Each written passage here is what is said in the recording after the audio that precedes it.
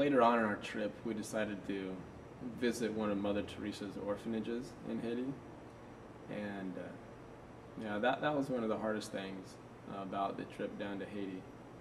As a sign of respect, when we were there, we didn't we didn't turn on the video camera. It was it was actually a suggestion by the sisters, so we we didn't videotape anything in the orphanage. We followed the sister into the nursery, and we walk into a room full of about 30 cribs with 30 crying babies.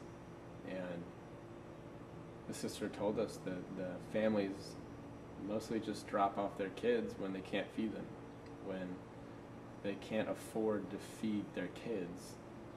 They just drop them off at the orphanage. I mean, it's just it's just hard to fathom that that would be the case. Um, there were two babies there that really made you stop and think. First one looked like a normal kid at first, and apparently she had just showed up earlier that day. Um, when I looked at her in her crib, I could see that her upper body looked like a normal child's upper body. But when I looked at her legs, they just looked, they looked so withered.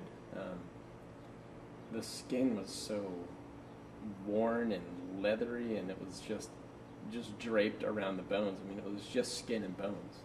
And um, it, I mean, literally, if you looked at the diaper that she was wearing, the leg holes in the diaper that usually just cinch right up to a baby's legs, they were, her legs fit in there with room to spare on either side. I think if, I think if you picked the baby up, her diaper would fall off without even touching her legs.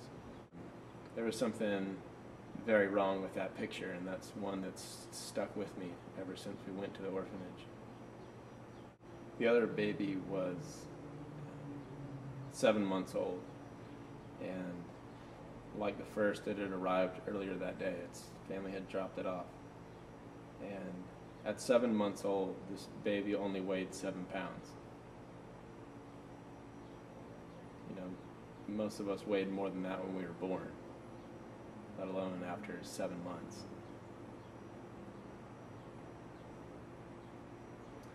The sisters didn't really expect that baby to make it through the day. And it's not like today was a special day. They have days like that all the time. Yeah, that, that's, that's why the sisters didn't want us to videotape in there.